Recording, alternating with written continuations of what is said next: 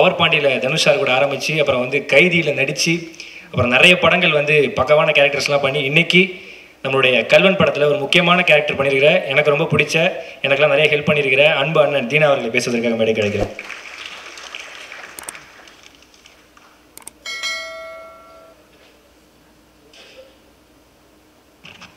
ரொம்ப ஹாப்பி எங்கேருந்து ஆரம்பிக்கிறது யாருக்கிட்டேருந்து ஆரம்பிக்கிறதுனே தெரில ரொம்ப ஒரு மாதிரி பதட்டமான இருக்குது ஃபஸ்ட்டு என்னை இன்ட்ரோ பண்ண பாலாலேருந்தே ஆரம்பிச்சிடுறேன். பாலா நல்லது பண்ணால் அவங்க லைஃப் சேஞ்ச் ஆகுன்றது உனக்கு.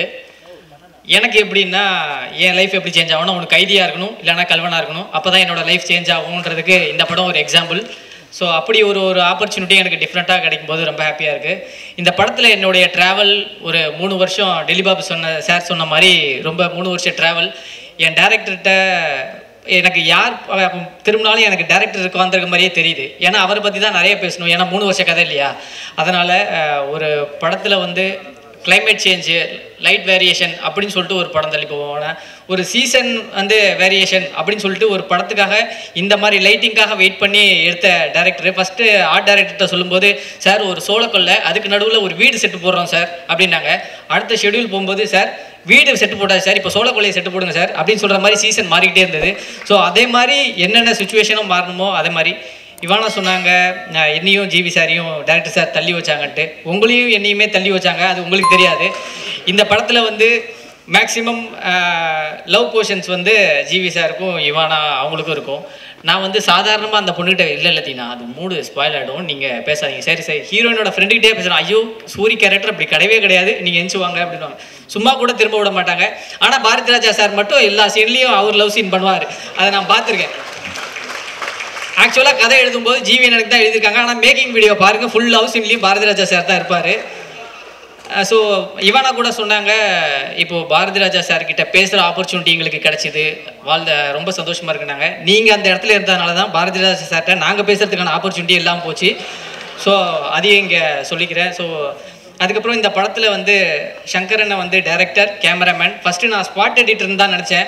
இந்த சீனையும் அப்படியே ஸ்பாட்லேயே எடிட் பண்ணி இது மட்டும் போதும்ட்டாங்க உங்களுக்கு ரொம்ப யூஸ்ஃபுல்லாக இருந்திருக்கும் சேனலில் பேசி பிரதர் ஸோ ரொம்ப ஹாப்பி அதே மாதிரி இன்னும் பேக்ரவுண்ட் மியூசிக் அப்புறம் வந்து நம்ம கதையோடைய ரைட்டர் ரமேஷ் கண்ணா சார் எல்லாருக்குமே தேங்க்யூ எனக்கு இந்த ஆப்பர்ச்சுனிட்டியை வந்து நான் அந்த ஆஃபீஸில் போயிட்டு சங்கர் அண்ணன் முன்னாடி வந்து கெஞ்சி கூத்தாடி இந்த மாதிரி ஒரு படத்துக்காக நம்ம எத்தனை வருஷம் கஷ்டப்பட்டாலும் தப்பே கிடையாது. அந்த மாதிரியான ஒரு படமாக இதை நான் எதிர்பார்க்குறேன். ஏன்னா ரக்ஷா இப்போது என்னடா சங்கர் சங்கரன் தான் இப்போ பிரசவ வார்டில் இருக்கிற மாதிரியே இருக்கார். ஒரு பட ஒன்றுமே கிடையாதுண்ணே யார் என்ன வேணாலும் சொன்னாலும் நம்ம படம் என்ன எடுத்திருக்கோன்றது உங்களுக்கு தெரியும். ஸோ அதனால் கண்டிப்பாக இது ஒரு சக்ஸஸாக இருக்கும். ஸ்ரீதரனை பேச தெரியல சொல்ல தெரியலன்ட்டு எல்லாத்தையும் சொல்லிட்டீங்க. சரி தேங்க்யூ ஸோ மச் முக்கியமாக சொல்லணும்னா என்னுடைய க்ளோஸ் டு த ஹார்ட் எனக்கு ஜிவி பிரகாஷ் அண்ணன் எங்கேயோ ஒரு சுச்சுவேஷனில் ஒரு ஷூட்டிங் ஸ்பாட்டில் பார்த்துட்டு கல்வன் படத்தில் என்னைய ஒரு சொந்த தம்பி மாதிரி பார்த்துட்டு இப்போ போகிற எல்லா படங்கள்லையும் என் பேரை சொல்லி என்னை ரெஃபர் பண்ணுறாங்க ஸோ அதுக்காக ரொம்ப தேங்க்யூண்ணே ஸோ இப்போ வந்து அண்ணன் எடுக்கிற கிங்ஸ்டன் படத்தில் கூட நான் நடிக்க வேண்டிய ஒரு விஷயம் ஒரு சுச்சுவேஷனால வேற ஒரு கமிட்மெண்ட்னால பண்ண முடியல. ஆனால் அந்த படத்தில் எனக்கு ஒரு டயலாக்ஸுக்கு ஒரு ஆப்பர்ச்சுனிட்டி கொடுத்தாங்க. So thank you so much மியூசிக்னா என்ன? எதுவும் எனக்கு தெரியாது. அவங்க கேரமில் வந்து மியூசிக் கம்போஸ் பண்ணிட்டு இருக்கும்போது சும்மா ரெண்டு லைன் சொல்லு இது சொல்லு அப்படிலாம் சொல்லும்போது எனக்கு அந்த ஸ்பேஸ் கொடுத்த இது ரொம்ப ஹாப்பியாக இருந்ததுன்னா தேங்க்யூ ஸோ மச் அண்ட் குறிப்பாக சொல்லணும்னா அப்பா பாரதி ராஜா சார் அவர் அப்பான்னு தான் கூப்பிடணும். தாத்தான்னு சொன்னால் சீனில் தாத்தான்னு சொன்னால் கூட அக்செப்ட் பண்ணிக்க மாட்டுறாங்க ஆக்சுவலாக என்னென்னா அவங்க ஏன் கூட தான் காம்படிஷனுக்கே வர்றாங்க மேக்ஸிமம் ஸோ சாரை பார்த்து நான் நிறைய விஷயம் கற்றுக்கிட்டேன் இவானா சொன்ன மாதிரி ஷூட்டிங் ஸ்பாட்டில் நான் தான் அதிகமாக சமைப்பேன். பாதி சீன்ஸ் இல்லாதப்போ. அப்போ ஒரு நாள் மீன் சமைச்சு கொடுத்தேன். தினா நீ மட்டும் பொம்பளை புள்ளையா பிறந்தா நான் உன்னை கல்யாணம் பண்ணியிருப்பேன்டா அப்படின்னாரு. ஸோ அப்படி நான் பொம்பளை பிள்ளையா பிறந்திருந்தேன்னா எனக்கு இப்படி ஒரு lover boy கிடச்சிருப்பாங்க. Just miss so thank you so much sir நானும் வந்து சின்ன வயசுலேருந்து நிறையா கல்வனா ஒரு திருட்டுத்தனமான வேலைகள்லாம் நிறையா பண்ணியிருக்கேன். அப்படி காமெடியெல்லாம் அப்போது சிரிச்சா போச்சுலேருந்து டைலாக்ஸை சுடுறது லுல்லு சபாலேருந்து டைலாக் சுடுறது அந்த மாதிரி நான் திருட்டுத்தனம் பண்ணியிருக்கேன். இன்றைக்கி வந்து என் டைலாக் திருடுற ஒரு இடத்துக்கு வந்திருக்கேன் அப்படின்னா ஐ மீன் என் டைலாக் உங்கள் மனசையும் உங்களையும் திருடுற அளவுக்கு வந்திருக்குன்னா இந்த கல்வன் படத்தை பாருங்கள் ஸோ மறக்காமல் சப்போர்ட் பண்ணுங்கள் தேங்க்யூ ஸோ மச் ஏப்ரல் மாதம் நாலாம் தேதி. Love you